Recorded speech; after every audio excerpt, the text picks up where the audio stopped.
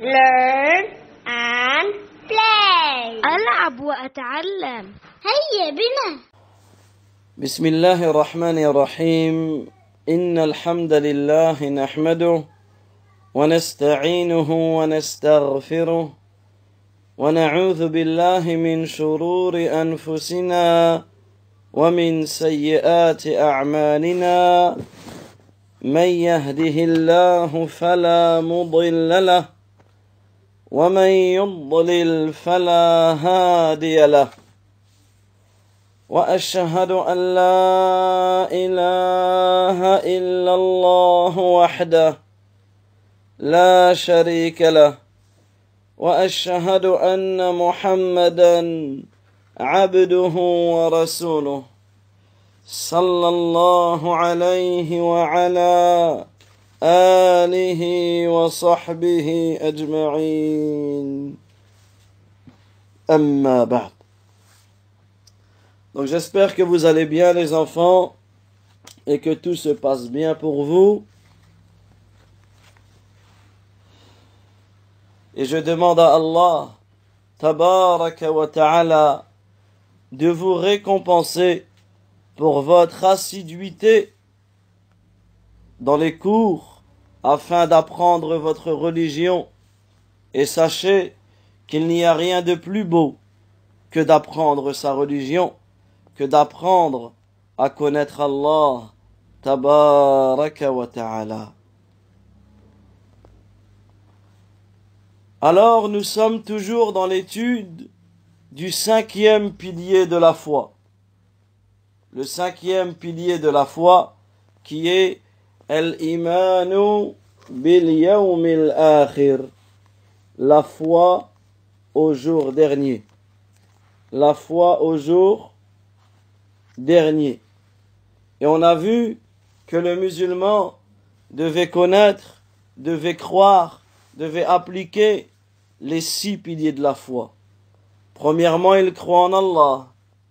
Deuxièmement, il croit en ses anges. Troisièmement, il croit en ses livres. Quatrièmement, il croit en ses messagers. Cinquièmement, il croit au jour dernier. Et sixièmement, il croit au destin, qu'il soit bon ou mauvais. On a déjà étudié les quatre premiers piliers et nous continuons aujourd'hui dans le cinquième pilier, qui est le fait de croire au jour dernier. Et on avait dit, cela voulait dire que le musulman, il croit à tout ce qui va se passer après la mort à tout ce qui va se passer après la, la mort. Et on a dit la première étape, la première étape lorsque la personne va mourir, et on avait expliqué hier la manière dont la personne, dont l'âme, elle sort du corps, et ensuite on a dit que la première étape, c'était la vie dans la tombe. C'est-à-dire que pendant un moment, tous ceux qui sont morts là déjà, et nous aussi, quand on va mourir, on va vivre un temps dans la tombe. On va vivre un temps dans la tombe. Et la tombe, comme on avait cité, c'est soit un jardin parmi les jardins du paradis, ou soit un trou parmi les trous de l'enfer. Et on avait cité quelques, points à ne jamais faire, quelques péchés à ne jamais faire afin de nous préserver contre le châtiment, contre la punition qu'il y a dans la tombe.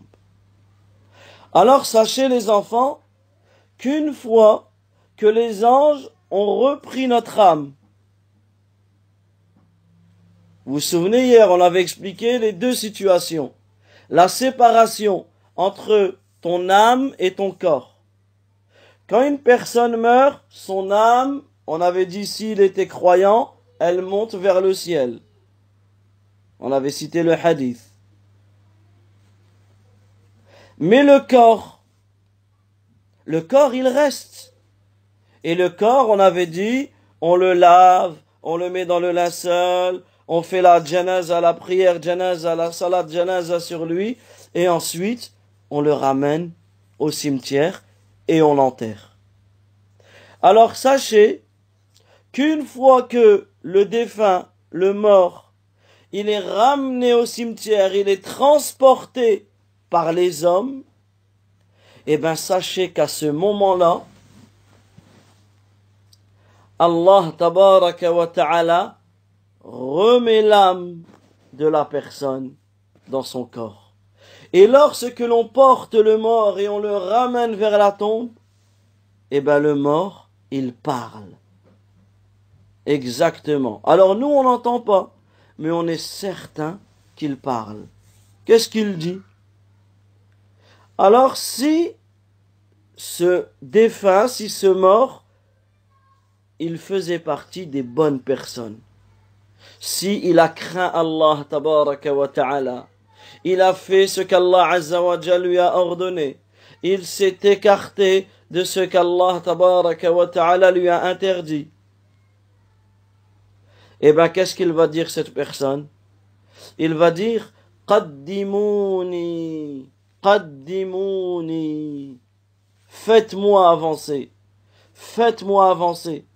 Pourquoi? Parce que lui, il sait que dans sa tombe, ça sera un jardin parmi les jardins du paradis. Alors il sera pressé d'avoir ces bonnes choses. Et c'est pour cela qu'on avait dit hier que nous, les musulmans, on ne doit pas avoir peur de la mort, parce que on doit se préparer. Et si tu te prépares, tu te prépares chaque jour, tu fais tes prières, tu as un bon comportement, tu appliques la ilaha illallah, tu vis avec le tawhid, l'unicité d'Allah, tu n'adores personne en dehors d'Allah, tabaraka wa ta'ala, tu ne dois pas avoir peur. Et là, tu vas dire, qaddimouni, qaddimouni, avancez-moi, avancez-moi. Mais si la personne, elle n'a pas été bonne, elle n'a pas été pieuse, elle n'a pas été vertueuse, elle n'a pas appliqué la ilaha illallah, Muhammadun Rasulullah. La personne qui n'a pas fait ses prières obligatoires et qui rejetait le caractère obligatoire de celle-ci. La personne qui n'a pas été vertueuse, qui a fait des péchés, vous savez ce qu'elle va dire? Elle va dire Ya wailaha Il va dire malheur à elle, où la conduisez-vous? Et là, sachez que toutes les créatures, elles entendent sa voix, sauf nous, sauf les êtres humains. Vous savez pourquoi? Parce que si les êtres humains en entendraient sa voix, eh bien on s'évanouirait. On s'évanouirait. On ne pourrait pas supporter le fait d'entendre le fait d'entendre cela. Ensuite, sachez également que durant ce passage entre le, ce, passage lorsque le mort il est conduit, il est porté, il est amené au cimetière et vers sa tombe, eh bien, il y a trois choses qui le suivent. Trois choses qui avancent avec lui. Mais sur ces trois choses, il y en a deux qui vont repartir et une seule qui va rester avec lui. Alors ces trois choses, ce sont quoi? Maluhu wa sa famille ses biens et ses œuvres lorsque la personne elle est amenée dans sa tombe sa famille le suit ses biens également et ses œuvres aussi mais il y en a deux qui vont rester qui ne partent pas avec toi dans ta tombe. Premièrement, ta famille. Ta famille, elle ne va pas être enterrée avec toi. Chacun, il sera enterré tout seul. Deuxièmement, tes biens. tes jouets, ton argent, euh, quand tu seras plus grand, Inch'Allah, tu auras une voiture, une maison, toutes ces choses-là, ben ça, ça va pas rester avec toi dans ta tombe. Ça va repartir, ça sera distribué, ça sera partagé. Mais qu'est-ce qui va venir avec toi dans la tombe? C'est tes œuvres, tes bonnes actions. Tes bonnes actions les bonnes actions que tu as faites, elles resteront avec toi. Elles resteront avec toi dans ta tombe. C'est pour cela qu'il est important, il est important, les, les, enfants, dès maintenant, il ne faut pas attendre que l'on soit grand. Dès maintenant, je fais un maximum de hasanat je fais un maximum de bonnes actions, je fais beaucoup de bien pour que lorsque j'arrive dans ce jour-là, Allah ta'ala me met un jardin parmi les jardins du paradis. Un jardin parmi les jardins du paradis. Parce que le prophète sallallahu alayhi wa sallam il dit, al qabru Certes, la tombe est un jardin parmi les jardins du paradis. Ou ce sera également un trou, un fossé parmi les trous, les fossés de l'enfer. Parmi les fossés de l'enfer. Donc, le musulman doit se préparer à ce jour-là. Ensuite, la personne, elle est enterrée. On l'enterre, on la rentre avec son linceul dans la tombe. Si on a la possibilité, on la met sur le côté droit. Lorsque l'on descend le, le, mort dans la tombe, on dit Bismillah sunnati rasulillah sallallahu alayhi wa sallam. Ensuite, on recouvre le mort avec la terre. Et à ce moment-là, ceux qui sont autour de lui, ceux qui assistent à son enterrement, ils peuvent invoquer en disant Allahumma ghfirlah, Allahumma Oh Allah, pardonne-lui, Oh Allah, raffermis-le, c'est-à-dire aide-le à répondre aux questions. Quelles questions? Eh oui, à ce moment-là, lorsque les gens vont partir, le mort, il entend le bruit de leurs chaussures. Ils partent. Donc là, il sait qu'il sera tout seul dans sa tombe. Et les anges vont descendre. Alors si la personne a fait des bonnes actions, si la personne a été pieuse, les anges qui vont descendre, ils seront magnifiques, ils seront beaux, ils auront un visage blanc, éclatant, illuminé. Par contre, si la personne n'a pas été pieuse, elle n'a pas fait de bonnes actions, les anges qui descendront seront des anges au visage noir et ils feront peur. C'est pour cela que Abu Huraira, radiyallahu anhu, il dit, il nous rapporte un hadith, et on va même citer le long hadith de Al-Bara ibn Azib. Il dit, un jour, nous sommes partis avec le prophète sallallahu alayhi wa sallam à l'enterrement d'un homme parmi les Ansar. Les Ansar, c'était les habitants de Médine, ceux qui ont accueilli les musulmans qui venaient de la Mecque. Mais lorsqu'ils sont arrivés, lorsqu'ils sont arrivés au cimetière, ils n'avaient pas fini de creuser la tombe il n'avait pas fini de creuser la tombe. Alors le prophète sallallahu alayhi wa sallam, il s'est assis près de la tombe et les compagnons se sont assis autour de lui.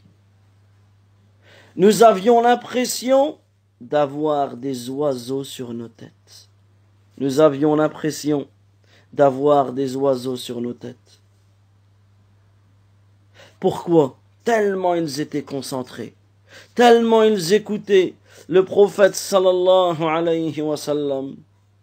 Et le prophète sallallahu alayhi wa sallam, il avait une petite baguette, un petit morceau de bois, un petit bâton, et il creusait le sol avec ce bâton.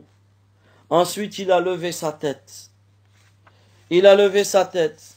Et qu'est-ce qu'il a dit Il a dit le prophète sallallahu alayhi wa sallam استعيذوا بالله من عذاب القبر استعيذوا بالله من عذاب القبر استعيذوا بالله من عذاب القبر Demandez à Allah de vous protéger contre le châtiment de la tombe. Et là, les enfants, toute notre vie, on doit demander à Allah de nous protéger contre le châtiment de la tombe, contre les punitions qui seront dans la tombe. Et c'est pour cela que dans la prière, après le tashahhud, le prophète sallallahu alayhi wa nous a enseigné cette invocation magnifique. Allahumma inni a'udhu min azab al-qabr. Et celui qui souhaite apprendre cette invocation, il dit à ses parents de m'envoyer un message et je vous l'enregistrerai. Je vous l'enregistrerai dans un audio et vous pourrez apprendre cette invocation que l'on dit après, à la fin de chaque prière et que on peut la dire tous les jours. On lève nos mains et on demande à Allah Azzawajal de nous protéger contre le châtiment de la tombe comme nous l'a indiqué le prophète sallallahu alayhi wa sallam. Ensuite, il continue. Et là, le prophète sallallahu alayhi wa sallam, il va, le prophète sallallahu alayhi wa sallam, il va nous raconter ce qui se passe au moment de la mort du musulman. Lorsque le musulman ou la musulmane meurt, il nous explique ce qu'il va se passer. Il dit, au moment où le croyant se sépare de ce monde, au moment où les croyants meurent, quittent ce monde et se dirigent vers l'au-delà, des anges du ciel, au visage clair comme le soleil, descendent. Et est-ce que vous savez, ils ont quoi ces anges dans leurs mains? Ils ont un kafan. Un kafan min akfan il jannah. Ils ont un linceul parmi les linceuls du paradis. Le linceul, c'est le, le tissu avec lequel on va habiller le mort. Une fois qu'on l'a lavé, on va, on va lui mettre les trois tissus blancs. Et également les anges, donc ils descendent avec des habits, parmi les habits du paradis. Ils descendent aussi avec un hanout, min hanout il jannah, avec du parfum, parmi les parfums du paradis. Et ils se mettent au niveau de sa tête, de l'endroit où il voit. Et là, à ce moment-là, Malakul Maut, l'ange de la mort, vient. Il se met près de sa tête. Et qu'est-ce qu'il dit Il dit أيتها النفس المطمئنة أيتها النفس المطمئنة Ô l'âme heureuse اخرجي إلى مغفرة من الله ورضوان Sors vers le pardon et la satisfaction de ton Seigneur. Alors l'ange de la mort, il demande au, à l'âme du croyant de sortir doucement, rapidement. Et là, l'âme, elle sort comme une goutte d'eau qui tombe d'une bouteille. Ensuite, les anges recueillent tout de suite l'âme. Ils la prennent et ils la mettent dans un linceul parmi les linceuls du paradis. Ils lui mettent un parfum parmi les parfums du paradis. Et là, cette âme, elle est la plus belle des âmes. Elle a une odeur magnifique, une odeur de musc, que même sur terre il n'y a jamais une odeur aussi bonne que celle-ci. Ensuite on monte, les anges montent avec l'âme. Et sur leur passage, à chaque fois qu'ils rencontrent des anges, sur leur chemin vers le ciel, les anges posent tous la même question.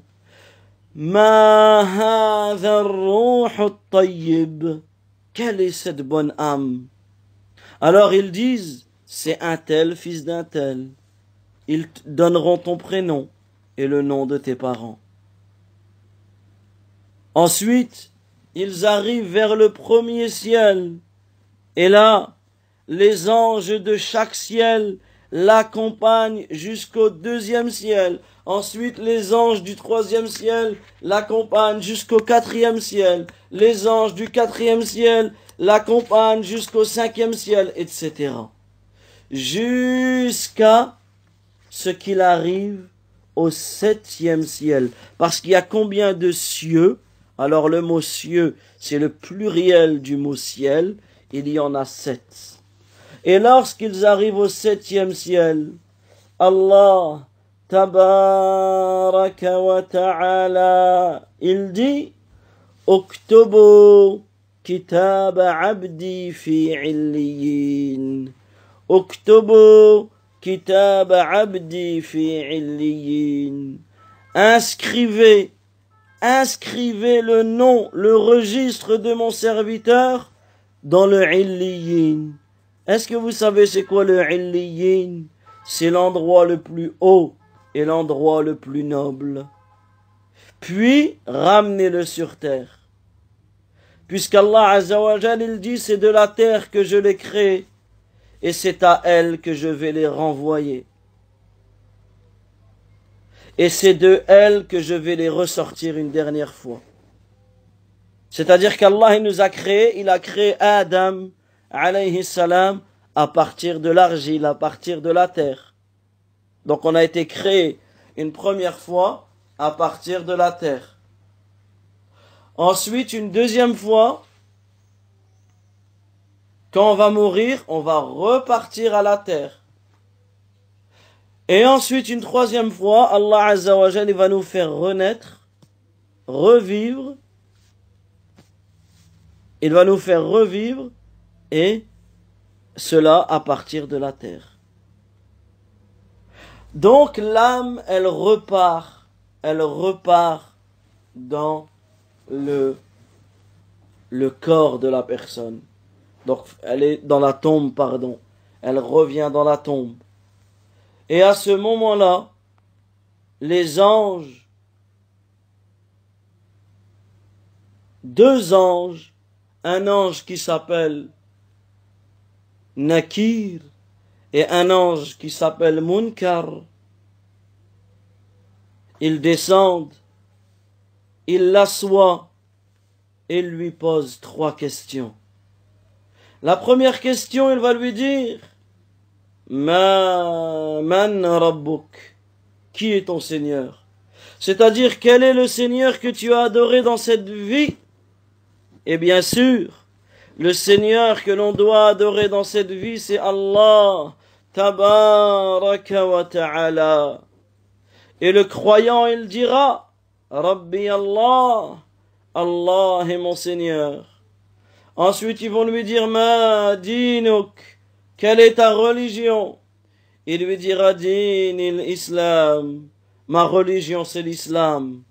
Ensuite, ils lui diront, quel est cet homme qui a été envoyé parmi vous? Quel est cet homme qui a été envoyé parmi vous? Ma Quel est cet homme qui a été envoyé parmi vous Alors ils diront, Huwa Rasulullah sallallahu alayhi wa sallam. C'est le messager d'Allah. Ensuite, ils lui diront, Ma amaluk, quelle est ton œuvre? C'est pour cela qu'il n'y a pas, il n'y a pas que trois questions, il peut en avoir plus. Ils lui diront, Ma amaluk, quelle est ton œuvre? Qu'est-ce que tu as fait? Qu'est-ce que tu as fait de bien? Et là, il dira, j'ai lu le Coran. Il lui dira, j'ai lu le Coran. J'ai lu le livre d'Allah. J'ai cru au Coran. Alors ici, une voix se fera entendre du ciel. Et il dira, mon serviteur a dit vrai. Faites en sorte que sa tombe soit un lit parmi les lits du paradis. Mettez-lui des habits du paradis et ouvrez-lui une porte vers le paradis. Alors à ce moment-là, un souffle, un petit vent, une brise du paradis entrera dans sa tombe. Un parfum du paradis arrivera dans sa tombe. Et sa petite tombe, elle va devenir énorme, grande, vaste, large. Et à ce moment-là, un homme magnifique, un homme qui est très bien habillé, parfumé, il viendra à lui. Et il lui dira, sois content, car tu auras tout ce qu'il te plaît. Voici venu ton, voici venu ton jour qu'on te promettait. Alors, cet homme, le croyant, le musulman, lui dira, mais qui es-tu? Ton visage est un visage qui présage le bien. Il lui dit, Ana. Je suis ta bonne œuvre. Je suis toutes les hasanat, les bonnes actions que tu as fait. Alors l'homme, qu'est-ce qu'il dira? Il dira, Oh Allah, oh Allah, fais sonner l'heure du jugement, afin que je retourne à ma famille et à mes biens. Donc regardez les enfants, la situation du croyant. La situation du croyant, il sera, au moment de sa mort, ce sera un merveilleux moment pour lui. Parce qu'il a cru en Allah, il a cru aux anges, il a cru aux livres, il a cru aux messagers, il a cru au jour dernier, il a cru au destin, qu'il soit bon ou mauvais. Il a adoré Allah Azza wa seul, sans rien lui associer. Il a suivi la sunnah du prophète Muhammad sallallahu alayhi wa sallam. Il a fait ses cinq prières à l'heure. Il a donné sa zakat. Il a jeûné le mois de Ramadan. Il a fait le pèlerinage. Il a été bon envers ses parents. Et il a appris, il a connu, il a appris sa religion. Et il a adoré Allah tabaraka wa ta'ala. Voilà les enfants. Comment nous devons adorer Allah Azza wa et préparer ce jour-là, le jour où nous allons mourir. Parce que celui qui ne dit pas la ilaha illallah, Muhammadun Rasulullah, c'est d'autres anges qui vont descendre. C'est des anges qui auront un visage sombre. Et ils vont venir avec un habit mauvais, grossier, et ensuite, l'ange de la mort, il va venir, il va lui dire, Sors, ô âme affreuse. Sors vers la fureur d'Allah et la colère d'Allah. Tabaraka wa ta'ala. Et son âme, elle aura peur, elle va courir partout dans le cœur, dans nos corps. Mais l'ange, il va l'attraper, il va la tirer. Et ensuite, il sera, il aura une mauvaise odeur. Et lorsqu'il sera monté dans le ciel, les anges diront, mais qui est-ce? Qui est cette personne horrible, cette, cette âme affreuse? Et il sera appelé par les plus mauvais des noms qu'il était connu. Et à ce moment-là, à ce moment-là, les, anges du ciel. Les anges du ciel n'accepteront pas, n'accepteront pas qu'il soit accueilli au ciel. Il sera remis dans sa tombe et les anges lui diront Man quel est ton Seigneur? Il dira Ah, ah, la adri, je ne sais pas, je ne sais pas. Ensuite, ils lui diront Quelle est ta religion? Ah, ah, la adri, ah, ah, je ne sais pas. Ensuite, ils lui, ils lui diront Quel est cet homme qui vous a été envoyé? Il dira Ah, ah, la adri, je ne sais pas.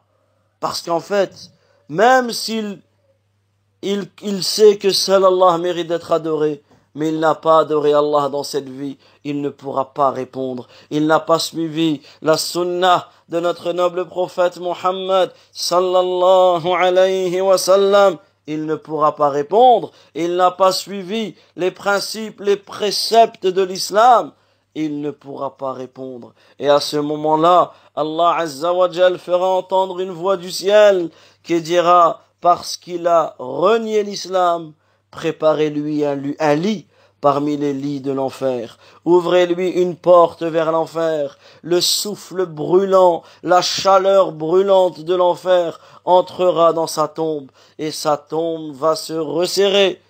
Et un homme au visage laid, mal habillé, qui sent une mauvaise odeur, il lui dira, Réjouis-toi de ce qu'il va t'attrister, Voici le jour qu'on te promettait. Il lui dira, qui es-tu? Ton visage me fait peur. Il lui dit, je suis ta mauvaise action. Et les péchés que tu as fait. Et à ce moment-là, il sera puni. Il sera frappé dans sa tombe. Et cela parce qu'il a refusé d'adorer Allah. Tabaraka wa ta'ala. Donc voilà les enfants, pour la vie dans la tombe, pour la vie dans la tombe. Également, et on termine sur cela, le prophète sallallahu alayhi wa sallam, il nous dit que lorsqu'une personne meurt, matin et soir, tous les jours, s'il fait partie des gens du paradis, on lui fera voir la maison qu'il aura au paradis. Et s'il fait partie des gens de l'enfer, on lui fera voir sa maison dans l'enfer et on lui dira c'est ta demeure.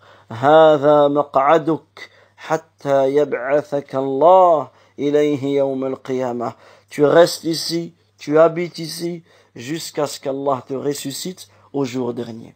Voilà les enfants, dans le prochain cours, Inch'Allah, on verra la deuxième étape qui est le souffle dans la trompe. Qui est le souffle dans la trompe? Et on expliquera cela. Wallahu ta'ala a'lam wa sallallahu wa sallam ala nabiyyina Muhammad wa ala alihi wa sahbihi ajma'in. Barakallahu fikum les enfants et je vous dis assalamu alaykum.